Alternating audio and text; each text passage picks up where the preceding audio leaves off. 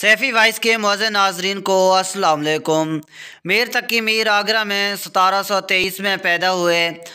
उनके वालद का नाम मोहम्मद अली था, लेकिन अली मतकी के नाम से मशहूर थे और दरवेश गोशा नशीन थे।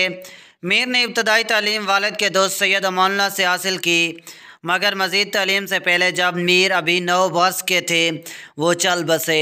तब के, तब उनके बाद इनके वालद ने ख़ुद तलीम व तरबियत शुरू की। मगर चंद माह बाद ही इनका भी इंतकाल हो गया। यहाँ से मीर की ज़िंदगी में रंज अलम के तवील बाब की इब्तदा हुई।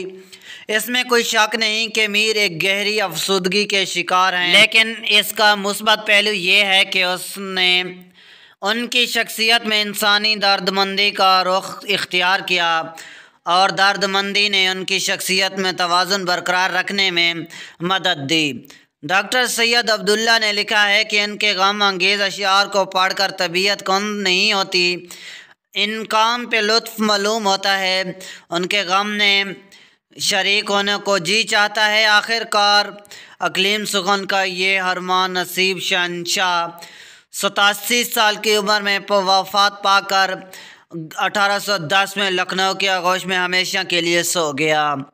मीर की ज़िंदगी के बारे में मालूम का अहम ज़रिया उनके शोख उम्र, ज़िक्र मीर, जो इनके बचपन से लखनऊ में इनके क़याम के आगाज़ की मदत पर मुहित है।